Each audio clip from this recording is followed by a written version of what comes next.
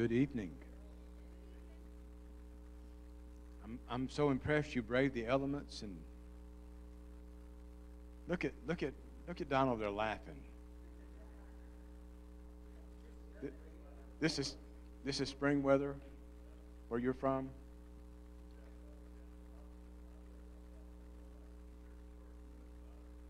Wow. Well, that makes one of us. We were in the South because uh, because of God's grace. Amen. Bob and Patty weren't, weren't they didn't get you know they didn't get down here until a few years back, but Bob told me ever since they, they made it here, this is as close to paradise as they could ever hope for. Right, right.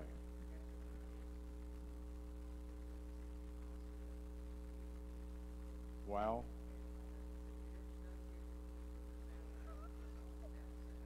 Yeah, get you an island or something out there. Well, we're glad you're here tonight, and uh, there are kids upstairs and, and uh, children in one hall and youth in the other, and we want to pray for them as well. And if you know folks that are battling uh, illness, there's a lot of stuff going around, and uh, I just wish you'd just get out, don't you? And uh, move on because we don't have time for that stuff. And so uh, let's pray tonight to, for our for our faith family. Um, Gilbert, Gilbert, Gilbert, Gilbert Lucero, who you know him, his brother was killed in an accident this morning. We want to keep that family in prayer. Uh, we want to. Anybody else have issues or family or any, anything?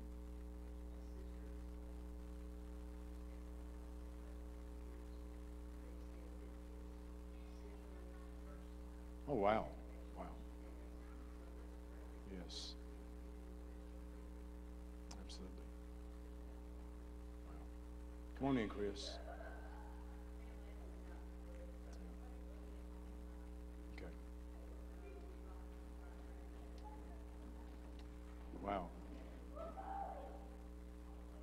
Wish you had that much energy?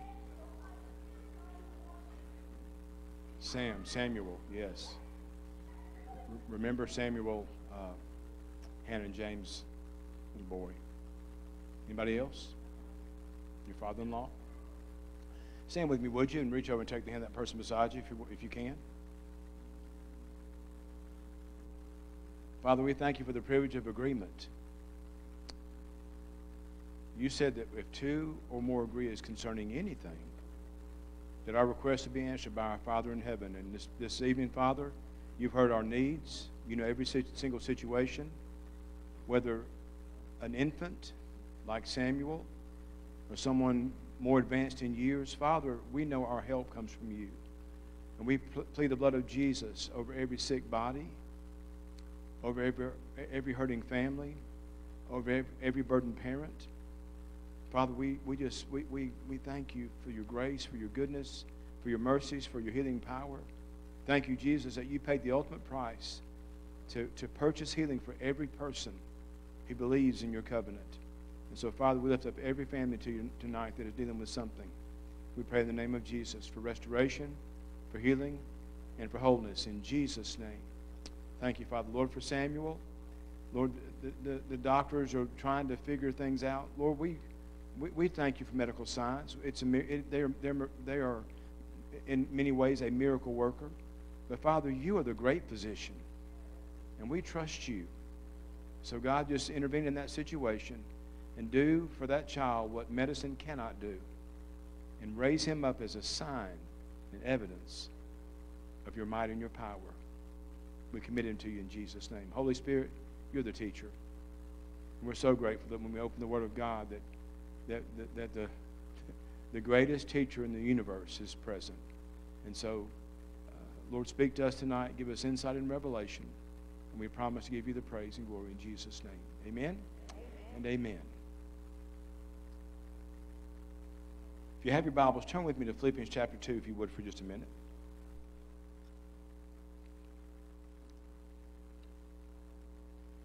If you didn't, Philippians chapter 2.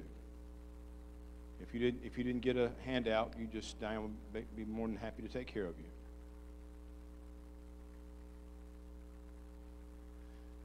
You know, when we, when we talk about, about Jesus, and of course the Gospel of John is the story of Jesus primarily, and, and uh, not in the synoptic form, but in, in, uh, in terms of just the divinity and miraculous nature of his life. And uh, in Philippians, it, it says this it's in verse number five it says, Let this mind be in you, which was also in Christ Jesus, who being in the form of God, did not consider it robbery to be equal with God, but made himself of no reputation, taking the form of a bondservant and coming in the likeness of men, and being found in appearance as a man, he humbled himself and became obedient to the point of death, even the death of the cross. Therefore, God has also has highly exalted him and given him the name which is above every name. Verse 10 that at the name of Jesus every knee should bow, of those in heaven, of those on earth, and of those under the earth, and that every tongue should confess that Jesus Christ is Lord to the glory of God the Father. I want you to pay special attention to verse 6 who being in the form of God did not consider it robbery to be equal with God. It's one thing to be forced to take a, an inferior position or a secondary position, it's another to voluntarily do it. The Bible says, one, one translation says, Jesus emptied himself. He, all that he had and all that he was and all that he is, to come in the flesh for you, for your sake and for mine, he emptied himself. He laid aside his God prerogatives. He could have done anything. He could have spoken at a word. Anything that he said would have been done because the Bible says there's nothing that was made that was not made by him. And so, with one word, with one syllable, everything that Jesus could have wanted to do to, to, to, to uh, avert the, the pain and suffering and misery he would have that he was he knew he was going to suffer. He could have said, No, I'm not doing it. But he humbled himself. You know, you and I, we live in a generation, this isn't one of the signs that John talks about tonight, but when you, when you see many of the, the things Jesus did, and we're going to talk about all of them, all of them you see someone who he, he has, who knowing all things, yet he made himself just like me and Don, just like, just like Mary, just like Patty, just like Angela. It's amazing. And so the reason when I think of, of Jesus, when I think of John's gospel, I think one of the reasons why John went last, he got to enjoy Jesus uh, the longest in terms of his physical life and uh, the memories of Jesus. And then, can you imagine what he, what, what he must have, what must, must have gone through his mind when, when Jesus, the resurrected Jesus, comes and, and breaks bread with him on the, on the seashore? You, you remember that? And so uh, when, he's, when he's writing, when you read John's gospel, you, you see it's so much more. It's not just a synopsis or a, a, a summary. It's a, it, it's, it's a love letter. And, uh, but just next time that you think about Jesus, remember, we're, going, we're about to celebrate Christmas in a few weeks, and we all focus on the baby, but he was only that way once. Amen? And uh, he's exalted back where he, he belongs at the right hand of the Father, interceding for you and for me. And so tonight, whatever needs you have, and if we didn't cover it earlier, you, you, uh, you always have a high priest with, with the Father, and he's always eager to hear your prayer. This is part 11, and I want to thank, uh, though he's not here tonight, Michael uh, Penny for uh, stepping in for me and, and uh, helping us. I love when he teaches. I know some people, I've heard some say, well, he's over my head. Well, everything in the Bible is over my head, too. That's why we have the Holy Spirit. Amen. And so I love when Michael teaches. I always learn something. I love to kid him about it too because I see him three or four times a week. But I do appreciate uh, his, uh, his helping out and his, his teaching. First John chapter 1 says, That which was from the beginning, which we have heard, which we have seen with our eyes, which we have looked upon, and our hands have handled, concerning the word of life. The life was manifested, and we have seen and bear witness and declare to you that eternal life, which was with the Father and was manifested to us. That which we have seen and heard, we declare to you, that you also may have fellowship with us. And truly, our fellowship is with the Father and with His Son, Jesus Christ. And these things we write to you that your joy may be full. Everything we read and, and consider uh, in John's Gospel is, is, is, a, is an impetus for joy. If, if, if you, uh, if you, you realize, you, how many understand that you can improve your face value, right? Watch this. Let me look at your neighbor and just flash those pearly whites. See, when you read when you read John's gospel, it's a reason for joy. See, there's one thing I don't get. I don't get depressed Christians. I'm sorry, I just don't get it. Talk to me, somebody. If Jesus conquered the grave and said, Because I live, you live also, what is there to be worried about? Amen? This is what the word says in John chapter 20. And truly, Jesus did many other signs, somebody say signs, in the presence of his disciples, which are not written in this book. But these are written that you may believe that Jesus is the Christ, the anointed one. The word Christ is, is from the Greek word Christos, and it means the anointing of the anointed. It's, it's something that oozes out from its essence, just keeps coming. The anointing of the anointed one. Jesus is the anointing of the anointed one, the Son of God, and that believing you may have life in his name. John, 1 John 5 says, He who believes in the Son of God has this, the witness in himself. He who does not believe God has made him, uh, God has made him a liar because he has not believed the testimony that God has given of his Son. And this is the testimony that God has given us eternal life, and this life is in his Son. He who has the Son, somebody say, That's me. He who has the Son has life. Hallelujah. He who does not have the Son of God does not have life. These things I have written to you who believe in the name of the Son of God, that you may know that you have eternal life and that you may continue to believe in the name of the Son of God. There's a lot of things about John's gospel that are unique, and one of them is the number seven. You'll see it on, your, on the slides there in your binder. Uh, there are seven signs. Uh, someone asked once, what's the difference between a miracle and a sign? I will tell you what the, the difference is. The, the miracles point to the kingdom. The signs point to the king. Say it one more time. The miracles point to the kingdom of God. The signs point to the king, Jesus. So, what Jesus did, and we're going to talk about this tonight, he turns water into wine. He heals a nobleman's son. He healed a lame man at the pool of Bethesda who had been there for 38 years. He fed 5,000 men and women and children. He walked on water. He healed a man born blind. He raised Lazarus to life. Seven teachings in John's gospel. Jesus is the Savior. Jesus is living water.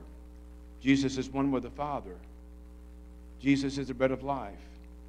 Jesus is the light of the world. He is the good shepherd. Jesus is the way, the truth, and the life. Seven I am statements. I am, Jesus says, the bread of life. I am the light of the world. I am the door of the sheep. I am the good shepherd. I am the resurrection and the life. I am the way, the truth, and the life. I am the true vine.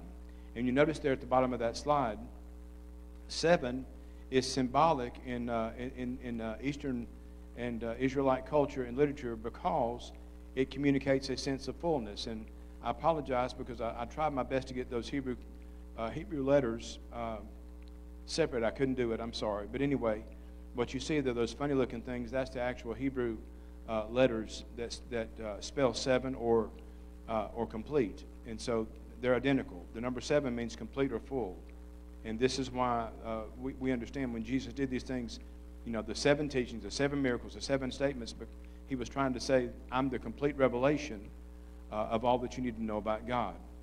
C.S. Lewis, uh, the, the, phenomenal author and uh, man who came to late knowledge of, of uh, Christ in his life, he said, Miracles or signs are a retelling in small letters of the very same story which is written across the whole world in letters too large for some of us to see. So, everything we see in, in John's gospel, these signs we're going to talk about tonight, are evidences that, uh, that Jesus is Lord. Can somebody say amen? So, here's what we're going to talk about this evening Jesus saves the best for last. John 2. He heals and makes whole. John chapter 4. Jesus restores body and soul. John 5. Little is much in the hands of Jesus, John chapter 6. Jesus has power over nature, John chapter 6. Jesus gives sight in sight gives sight in two dimensions, John 9. And Jesus has conquered death. Hallelujah, somebody. So, if you have your Bible with you, I did not put these scriptures on the slides because it would have taken about 40 more pages. So just turn over in your Bible to John chapter 2, and we'll pick this up. And while you're turning, I'm going to want to, uh, I, I, will, I will uh, hit a couple of the high points while you're looking. The reason why Jesus did these signs are, are, are, for these reasons. Sign one, when he turns water into wine, it points to Jesus as the source of life. Sign two, he heals a nobleman's son, which shows Jesus is the master of distances. Sign three, he heals a lame man at the pool of Bethesda. It pro- proves that Jesus is the master of time. Sign four, when Jesus feeds the 5,000, proves that Jesus is the bread of life. Sign five, when Jesus walks on water and stills a storm, proves that Jesus is the master over nature. Sign six, when Jesus heals a blind man who was born blind, it shows that Jesus is the light of the world. In sign seven, Jesus, Jesus raises Lazarus from the dead. It proves that Jesus has power over death. Can you say amen, somebody? Aren't you thankful for that? So Jesus saves the best for last. John chapter 2. Just look, look over at your neighbor, make sure they've got, they, they've got the right page there. We're going to read the whole thing. And so just follow along with me, please. On the third day, there was a wedding in Cana of Galilee, and the mother of Jesus was there. Now, both Jesus and his disciples were invited to the wedding. And when they ran out of wine, the mother of Jesus said to him, They have no wine. Jesus said to her, Woman, by the way, that was not a disrespectful remark, it was a respectful, reverential remark, actually. What does your concern have to do with me? My hour has not yet come. His mother said to, to the servants, Whatever he says to you, do it. Say that with me, please. Ready? Whatever he says to you, one more time. Whatever he says to you, do it. Friend, if you don't remember anything else tonight, you remember that one thing, it will serve you well. Whatever Jesus says to do, do it. Amen? Let's keep going. Now, there were set, there are six water pots of stone according to the manner of purification of the Jews, containing 20 or 30 gallons apiece. Jesus said to them, Fill the water pots with water. And they filled them up to the brim. And he said to them, Draw some out now and take it to the master of the feast. And they took it. When the master of the feast had tasted the water that was made wine and did not know where it came from, but the servants, you see right there in parentheses, but the servants who had drawn the water knew, the master of the feast called the bridegroom. And he said to him, Every man at the beginning, at the beginning, somebody say at the beginning, every man at the beginning sets out the good wine, and when the guests have, have well drunk, then the inferior. You have kept the good wine until now. This beginning of signs Jesus did in Cana of Galilee and manifested his glory, and his disciples believed in him. After this, he went down to Capernaum. His mother he, his mother, his brothers, and disciples, and they did not stay there many days. Let, us go back to this, this, this miracle. Jesus reverses the custom of the day. The custom was you serve the best booze first. Wine. Because drunk people don't know if it's good wine or bad wine. Now, none of you, none of us have any experience with that. Amen, somebody? Just give me the happy dog. Yeah, go ahead. Um, we don't know anything about that, but we do know this. Jesus reverses this for a reason. Why? Think about this for a moment. It's a sign to you and to me. It was a sign to his disciples. I could have served the best first, but I'm saving the best for last. Do you know what you and I, what our life we got bumps and bruises. Come on, amen, somebody. We, we got, we've been through all kinds of stuff. Sometimes life throws you a curveball. Some, sometimes it doesn't make any sense what we, what we have to endure, does it? But Jesus is saving the best for last. Hallelujah. Jesus is saving the best for last. So we may not get everything we want on the, in, the, in, the, in the present.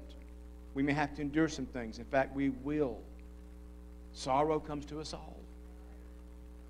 There's a measure of suffering that I don't care if you're, unless you go in your sleep, and, you know, that's how, that's how I plan to go. But anyway, um, if, you, if, you know, however, we're, we're going to suffer. Jesus promised it. But he saves the best for last. That means that no matter what I have to face, I can make it because I know that the best is just ahead. Amen? Just know your neighbor and tell them, the best is yet to come. Now, look on the other side and tell them, the best is yet to come. Jesus saves the best for last. The second miracle is John chapter 4.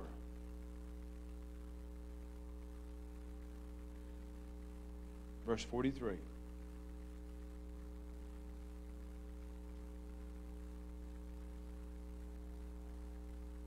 Man, I wish I could preach on John 4 all night. It's, it's one of my most favorite chapters in the Bible. After the two days he departed, John, John uh, 4 43, after the two days he departed from there and went to Galilee. For Jesus himself testified that a prophet has no honor in his own country. So when he came to Galilee, the Galileans received him, having seen all the things he did in Jerusalem at the feast, for they also had gone to the feast. So Jesus came again to Cana of Galilee, where he had, he had made the water wine. And there was a certain nobleman whose son was sick at Capernaum. When he heard that Jesus had come out of Judea into Galilee, he went to him and implored him to come down and heal his son, for he was at the point of death. Then Jesus said to him, Unless you people see signs and wonders, you will by no means believe. The nobleman said to him, Sir, come down before my child dies. Jesus said to him, Go your way, your son lives. So the man believed the word. Let's read that last, let's read that last sentence together. Ready? You ready? So the man believed the word that Jesus spoke to him, and he went his way. I've often wondered what would have happened if he had not believed the word. Hmm. Let's keep going. And as he was now going down, his servants met him and told him, saying, Your son lives. What did Jesus say? Your son lives. You see it? It's almost like this guy heard him, didn't he? Your son lives. Then he inquired of them the hour when he got better. And they said to him, Yesterday at the seventh hour, the fever left him. So the father knew that it was at that at the same hour in which Jesus said to him, Your son lives. And he himself believed in his whole household. This again is the second sign Jesus did when he had come out of Judea into Galilee. I'm going to talk to you for a minute about belief.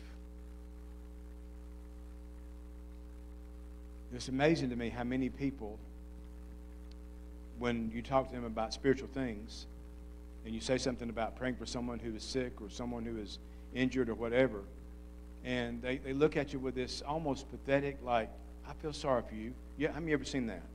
They look at you like, well, you must be crazy, or maybe you just you got an issue or something, but you believe that this God you pray to hears you and, and, and does what you ask? And I think when I, when I read this, this story, one of the reasons I love it so much is because, because the validation of what Jesus said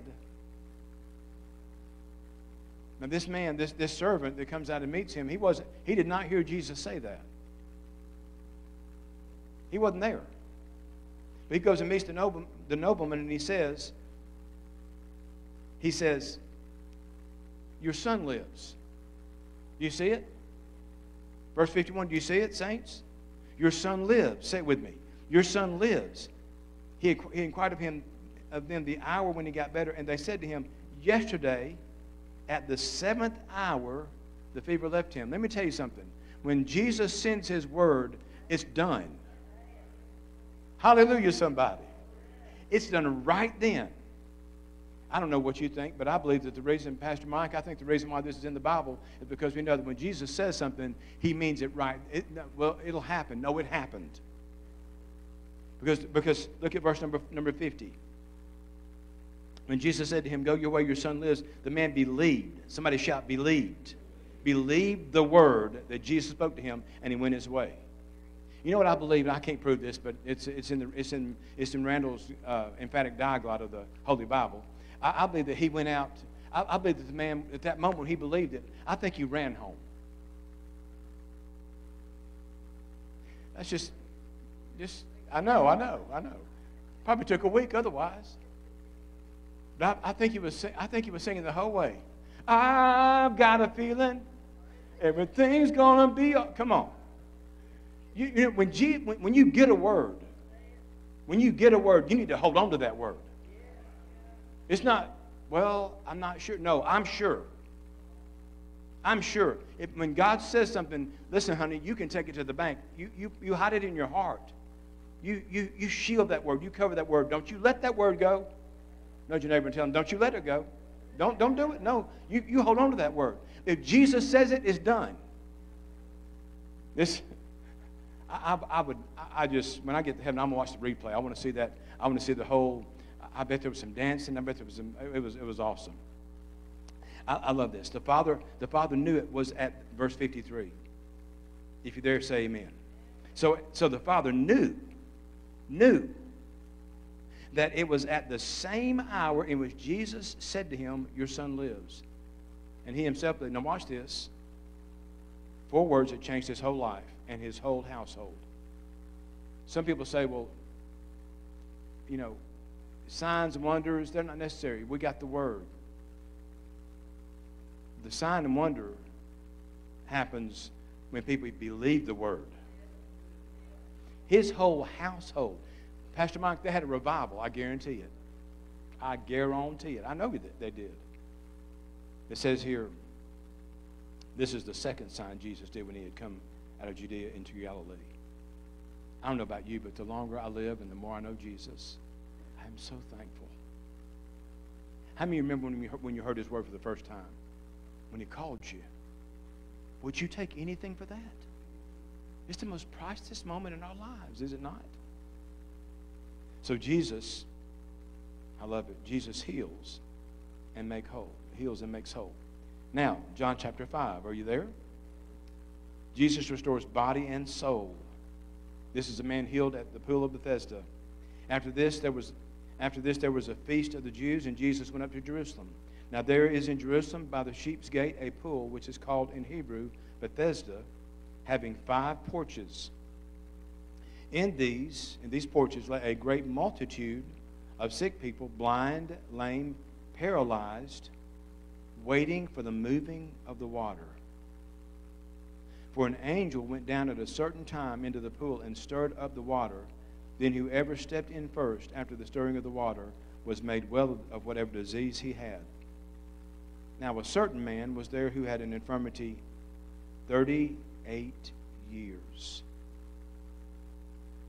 38 years.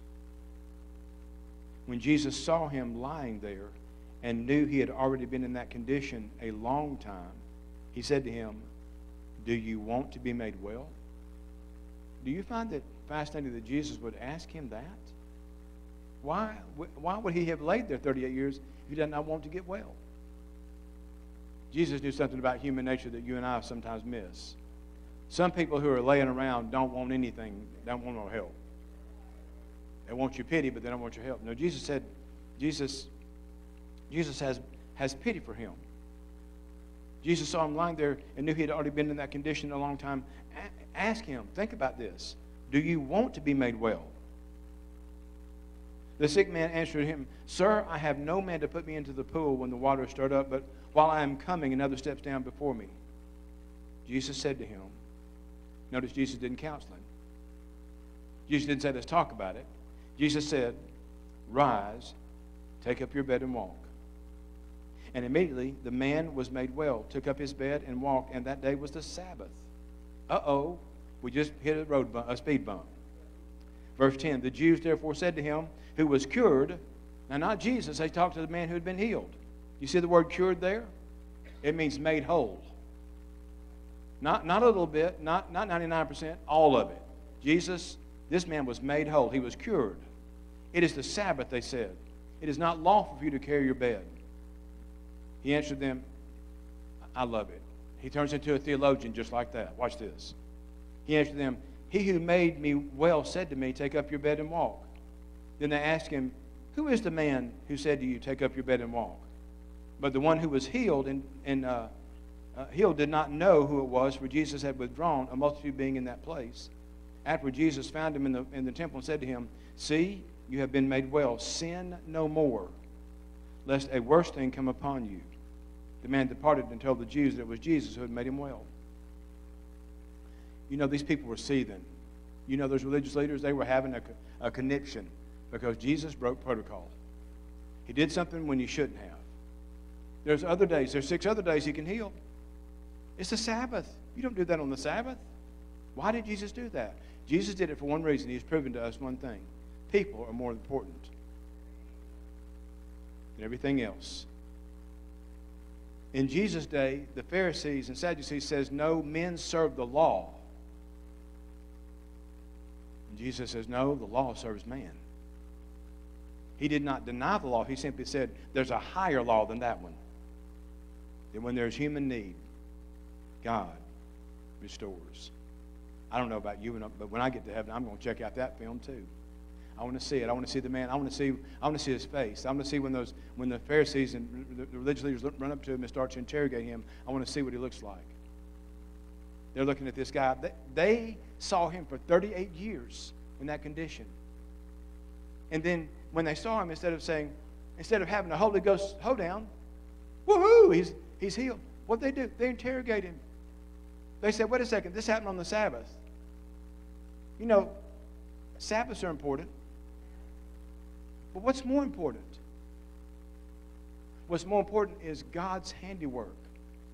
What's more important is a person in need, and no matter what day it is or what season or whatever, that need gains the heart of God. Can you say amen? And so Jesus ministers life to him. That's another one of the signs in this, in this wonderful gospel. Look over at John chapter 6. These are all close together. Aren't you thankful? Little becomes much in his hands. How many ate tonight before you came?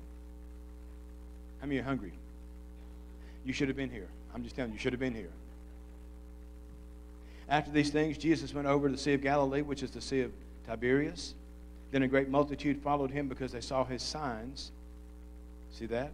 You see the word signs? They saw his signs, which he performed on those who were diseased. And Jesus went up on the mountain, and there he sat with his disciples. Now the Passover, a feast of the Jews, was near. Then Jesus lifted up his eyes, and seeing a great multitude coming toward him, he said to Philip, Where shall we buy bread that these may eat? But he said this to test him. You see that?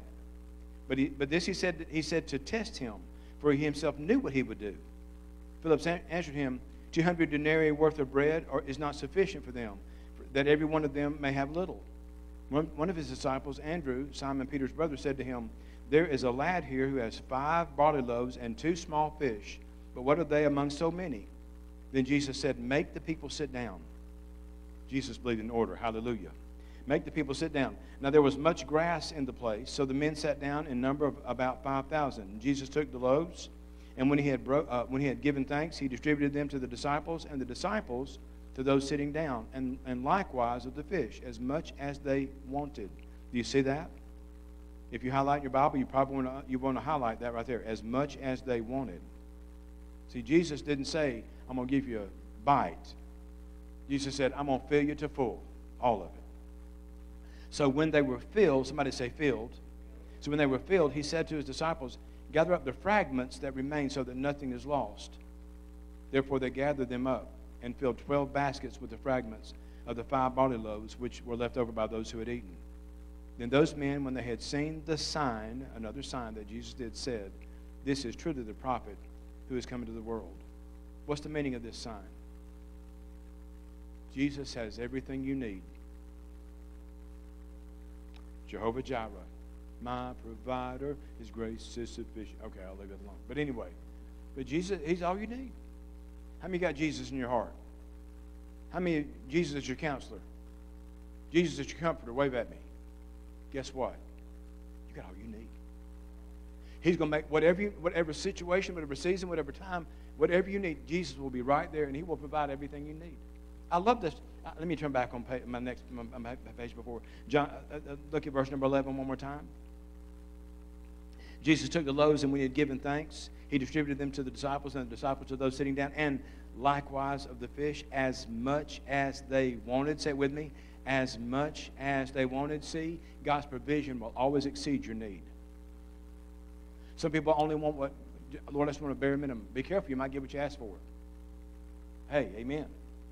I heard this said, uh, said one time. There was a minister, uh, Michelle, and I was just a baby Christian, and he was on TV, and uh, he said this. He said, Don't insult God with your pitiful request. Ask big, because God is a big God. And I'm, I'm, I'm, I'm sitting, the tears running down my face. I'm like, Ask big. And I'm starting to think, What's big? I want. How many of you, if you go into a buffet you don't get you a piece of chicken. Come on, talk to me. You get three plates of chicken. Actually, exactly right. She's, she's a Randall. She knows this is how we do things. Je- Jesus gives them all they wanted. Look at that one more time. What does he say? As much as they wanted. My friend, I came here tonight to tell you one thing. Jesus has as much as you want. That's exactly what he wants to give you. He didn't want to give you a piddling amount or just a, just a barely getting by. People, it blows my mind how many people are willing to, they, they, will, they will skimp. They'll trust, they'll trust the government to give them everything they want.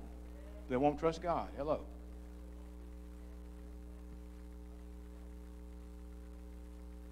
Yes. Yes. Hallelujah. To overflowing. Amen. Amen. Little becomes much in his hands. What do you got? What do you need? Think about that boy that day. Five loaves and two fish. What is that? These weren't like catfish or fat fish. They were, they were. What did Jesus do? Remember the song we used to sing, honey? Little as much. When God is in it, labor not. Keep going. You can win it if you'll go in Jesus' name. No, you never tell them, little as much. John 6 15. I'm so glad you're here tonight. I appreciate you.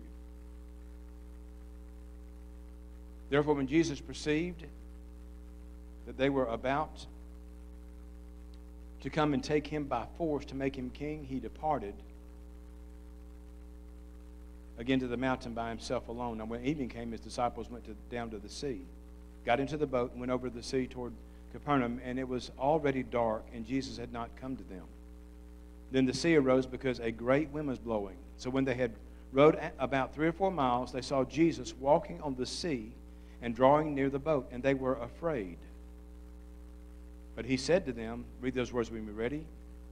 It is I. Out loud. It is I. Do not be afraid. Then they willingly received him into the boat, and immediately the boat was at the land where they were going.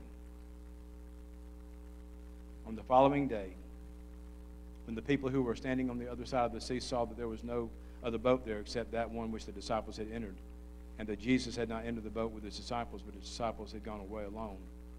However, other boats came from the Tiberias near the place where they had ate bread after the Lord had given thanks. When the people therefore saw that Jesus was not there, nor his disciples, they also got into boats and came to Capernaum seeking Jesus. See, when Jesus meets your need, how, most of us, I don't know how you got saved. I, I was not at a meeting.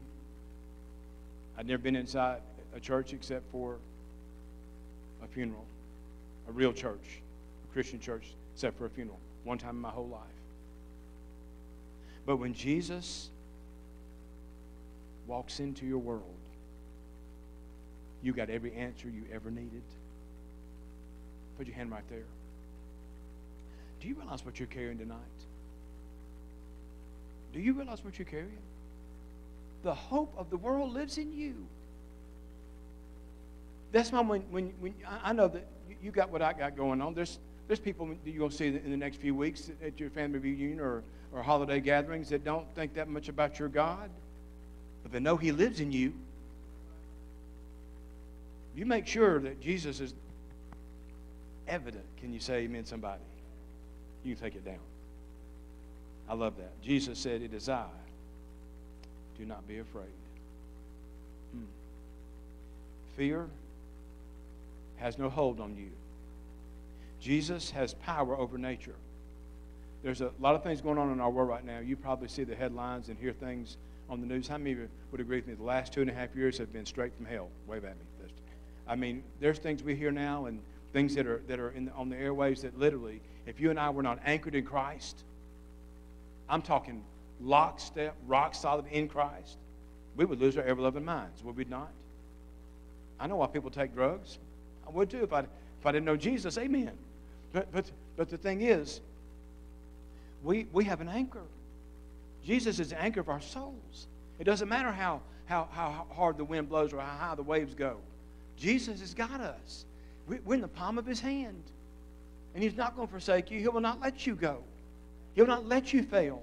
I had a friend years ago that uh, he, uh, he had some issues, moral issues. And, and, and I won't go into all the details, but anyway, he, he embarrassed his family. He lost his marriage. He was ready to quit. He, he was to he was going to take his life. Had nothing to live for. This back before cell phones. Name was Donnie. I said, Donnie, when you get to that point, call me. Promise me you'll call me. Okay. So one, one afternoon, about 10 minutes to 5, I was at work in Hoover, Alabama. And uh, the phone rings. I picked it up, and Donnie's on the phone crying. I said, Donnie, where are you? I can't tell you. What are you doing? I can't tell you. How can I get to you? I can't tell you. I said, Donnie, in the name of Jesus of Nazareth, you put whatever you got in your hand down right now. In Jesus' name. You will live and not die. Do you hear me? My boss is behind me, and he's, well, what are you doing? Man, I was in the spirit. I, listen, when Jesus lives in you, you don't have reason to pull the plug. Amen. And no matter what you listen, we can get our, into our, ourselves in some deep messes sometimes. Amen. Somebody, even Christians. But when you get there, instead of looking around and looking down, no, look up. Jesus is there. He's not going to abandon you. Jesus has power over nature. I'm thankful. I'm thankful tonight that He's all I need. Now, John chapter 9. You there? Are you there? Say amen. John 9. Jesus gives sight in two dimensions. This is a long passage. Now, see, it's one thing for someone who goes blind, it's another for a man that's born blind. This is totally different. Now, as Jesus passed by, he saw a man who was blind from birth. Now, watch what his disciples do. This is crazy. And his disciples asked him, saying, Rabbi, who sinned? This man or his parents, he was born blind. You know why? Because they believed that sin caused all disease. If, you were, if a person was sick, somebody in their generations was guilty of something, and it got on them. You know, there's some people in, church that believe that now. Horrible, horrible lie.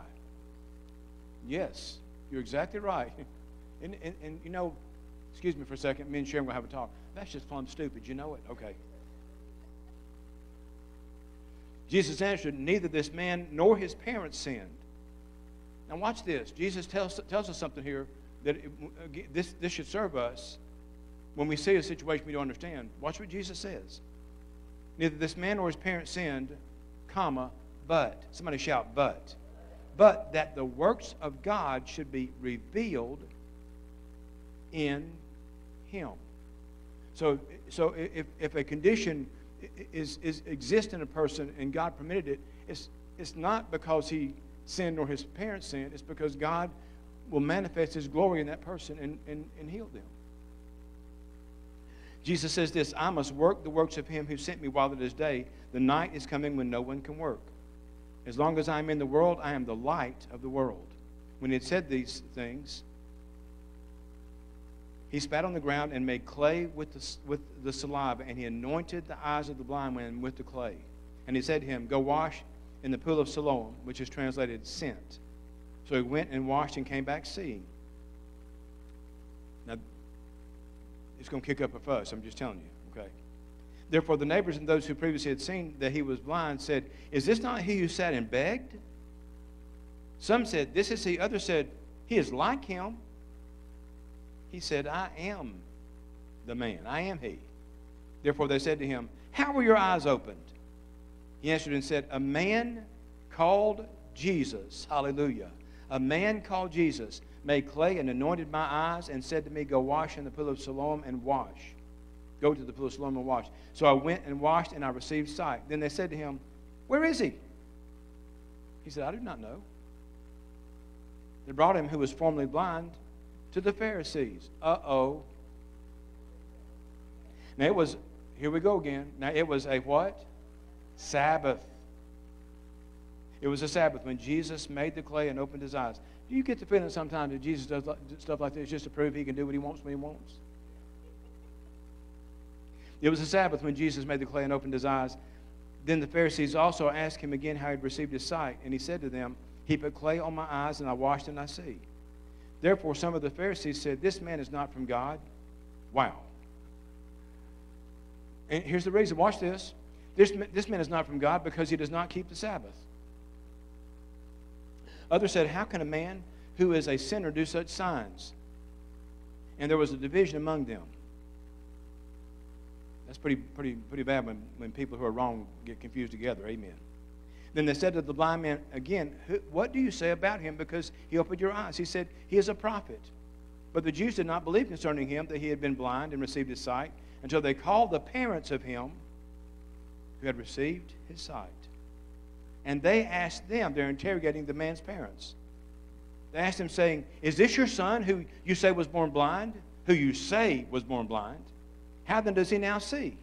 His parents answered them and said, We know that this is our son and that he was born blind. But by what means he now sees, we do not know. Or who opened his eyes, we do not know. He is of age, ask him. He will speak for himself, by the way. Of age is 30. So he was 30, 30 plus. He is of age, ask him. He will speak for himself. His parents said these things because they feared the Jews. For the Jews had agreed already that if anyone, if anyone confessed that he was Christ, he would be put out of the synagogue. Therefore his parents said, He is of age, ask him. Verse 24, so they asked, they, they again called the man who was blind, again, again, again, and said to him, Give God the glory. We know that this man is a sinner. Hmm.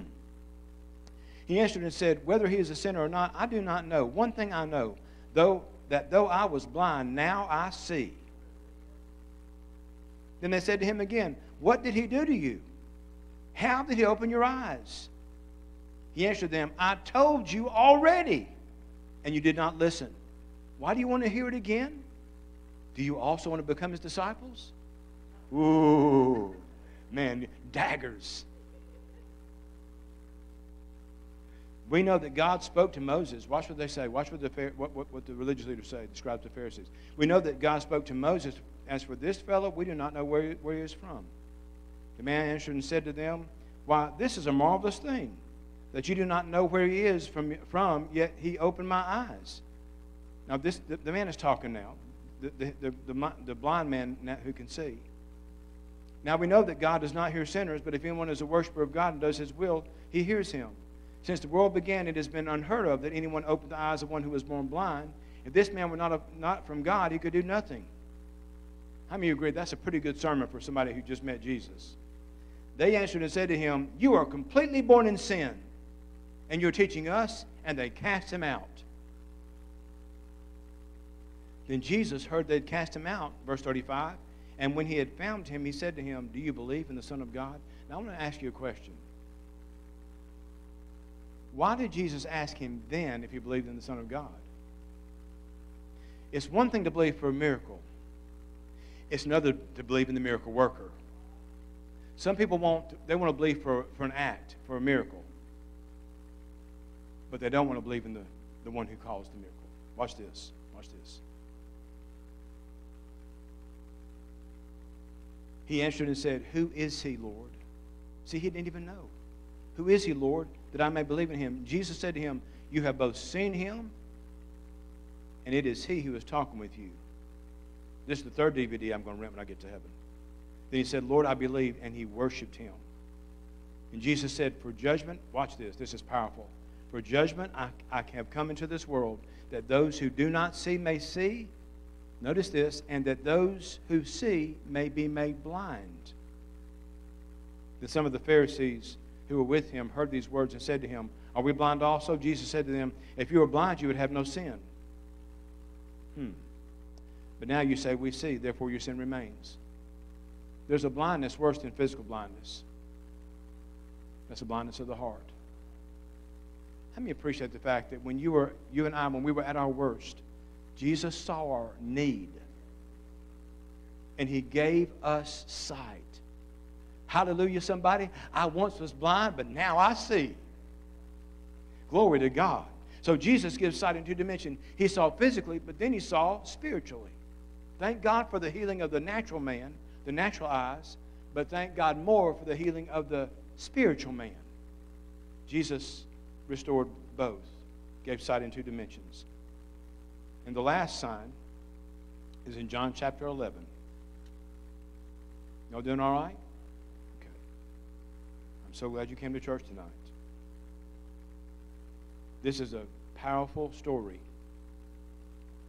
of a very, very close and dear friend of Jesus. Verse 1 Now, a certain man was sick, Lazarus of Bethany, the town of Mary and her sister Martha. It was that Mary who anointed the Lord with fragrant oil and wiped his feet with her hair, whose brother Lazarus was sick. Therefore the sisters sent to him, saying, Lord, behold, he whom you love is sick. Notice that. He whom you love. Isn't that amazing? Wouldn't you? Listen, if I could be called anything, Don, I want to be known as He whom you love. Amen? He whom you love is sick. When Jesus heard that, he said, This sickness is not unto death, but for the glory of God, that the Son of God may be glorified through it. Now, Jesus loved Martha and her sister and Lazarus. So when he heard that he was sick, he stayed two more days in the place where he was. Uh oh. That was a strange statement there, wasn't it? When he heard he was sick, he went right to him. No, that's not what happened. Comma. He stayed two more days in the place where he was. Then after this, he said to the disciples, Let us go to Judea again. The disciples said to him, Rabbi, later the Jews sought to stone you, and you're going there again? Jesus answered, Are there not 12 hours in, in the day? If anyone walks in the day, he does not stumble, because he sees the light of this world. But if one walks in the night, he stumbles, because the light is not in him. These things he said, and after that he said to them, Our friend Lazarus sleeps, but I go that I might wake him up.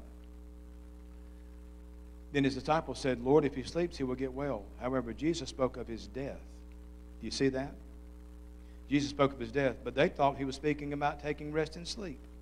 Then Jesus said to them plainly, Lazarus is dead. I mean, some people just don't get it. So Jesus had to bust it down for them. Lazarus is dead. Say it with me.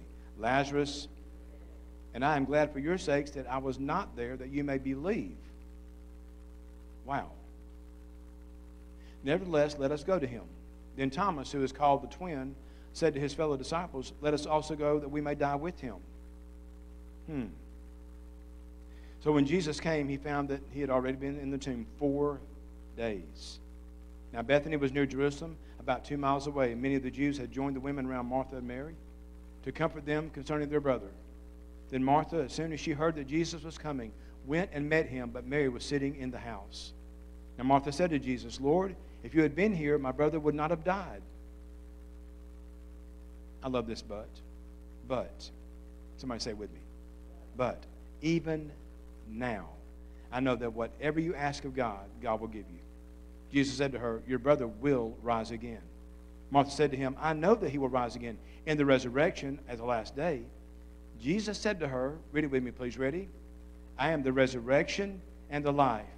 He who believes in me, though he may die, he shall live. And whoever lives and believes in me shall never die. Do you believe this? She said to him, Yes, Lord, I believe that you are the Christ the Son of God who is to come into the world. Verse 28 And when she had said these things, she went her way and secretly called Mary, her sister, saying, The teacher has come and is calling for you. As soon as she heard that, she arose quickly and came to him. Now, Jesus had not yet come into the town, but was in the place where Martha met him.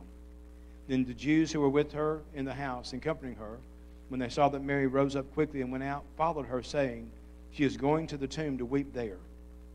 Then when Mary came where Jesus was and saw him, she fell down at his feet, saying to him, Lord, if you had been here, my brother would not have died. Therefore, when Jesus saw her weeping, and the Jews who came with her weeping, he groaned in the spirit and was troubled. See that? He groaned. Read it with me, please. He groaned in the spirit and was troubled. This is a deep anguish, a, an anguish of soul so deep words can't express it. It's a guttural earthquake. Lord, if you'd been here, my brother would not have died. Jesus groans in the spirit and was troubled. And he said, Where have you laid him? They said to him, Lord, come and see. Jesus wept. Shortest verse in the Bible, verse 36. Jesus wept. Then the Jews said, See how he loved him? And some of them said, Could not this man who opened the eyes of the blind also have kept this man from dying? Then Jesus again groaning in himself. See it? Two times there. He groans in the spirit in verse 33. He groan, he's groaning in himself in verse 38. Came to the tomb. It was a cave, and a stone lay against it. Then Jesus said, Take away the stone. Say it with me out loud. Take away the stone. One more time. Take away the stone. Martha, the sister of him who was dead, said to him, Lord, by this time there is a stench, for he has been dead four days. Jesus said to her, Did I not say to you that if you would believe, that if you would believe, you would see the glory of God? Then they took away the stone from the place where the dead man was lying, and Jesus lifted up his eyes and said, Father, I thank you that you have heard me. And I know that you always hear me. But because of the people who are standing by, I said this, that they may believe that you sent me. And when he had said these things, he cried with a loud voice, Lazarus, come forth. And he who had died came out, bound hand and foot with grave clothes and his face was wrapped with a cloth, Jesus said to them, Loose him and let him go. Say it out loud with me, somebody. Loose him and let him go. When someone who is lost in sin begins to feel a tugging in their heart and begins to recognize there's a life and a power and a voice and an authority and a God bigger than me, and begins to point their heart toward, toward that direction, they're like a person that's wrapped in, in, in grave clothes. Juan, you remember when you heard that sound for the first time? How many, many remember the day you were saved? Hallelujah. Raise it one more time. Stand with me, would you? Stand, just stand up. Wow. Look at this room.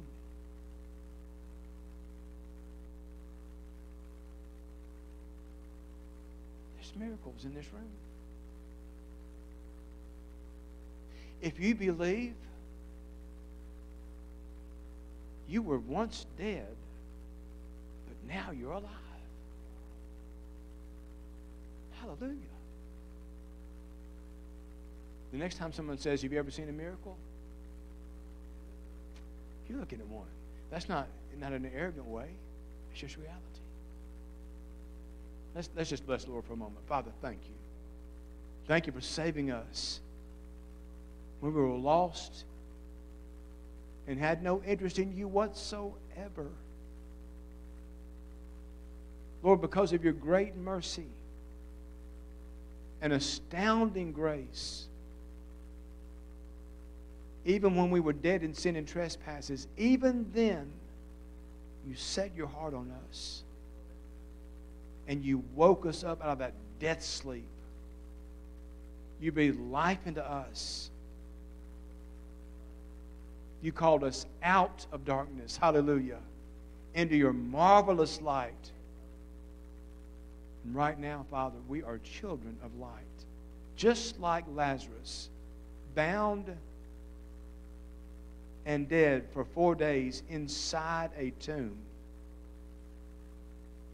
But when you called him out, he came, came out bound and walked away free. And Father, you've done the very same thing in us. Thank you, Jesus. Come on, tell them, saints. Oh, thank you, Lord. Thank you for your extravagant mercy. Thank you for your compassion. for your grace. So amazing. God, we're so thankful for what you've done in us. And Father, we pray for our loved ones who do not know you tonight, whether they be sibling, parent, aunt, uncle, cousin, grandparent, whoever they may be. Father, in the name of Jesus, do for them what you've done for me. Call them out of that tomb. Awaken them. Call their name. Hallelujah. And raise them up. In Jesus' name. Father, thank you for the miracles that are in this room tonight. Lord, this week we're going to interact with people who do not know you. They may be co-workers. They may be somebody at a grocery store or wherever we may, we may go. We're going to, we're going to rub shoulders with this week with people who do not know you. Many of them are walking in a stupor. They're completely and totally blind, just like we once were. And Father, I've heard your spirit the last several weeks, time and time and time again, say, Let your light shine. God, our mandate in this season of darkness is to let our light shine because we did not generate that light. That light lives in us because Jesus lives in us. Have something to say to the world. We give hope. We shine that light that others may come out of darkness and know freedom and hope and love. In Jesus' name, amen and amen. Well, Thank you so much for coming tonight. We love you. We appreciate you. Uh, bring your binder back. Ne- no, hold on. I got I got an announcement. I just remembered it. Next week is the week of Thanksgiving. We don't meet on Wednesdays on the week of Thanksgiving. So uh, what we didn't cover tonight, and plus all the handouts you got that are in, in, in the binder there, take it with you and read it. And, uh, and we'll look forward to seeing you, Lord willing, on Sunday morning, okay? God bless you.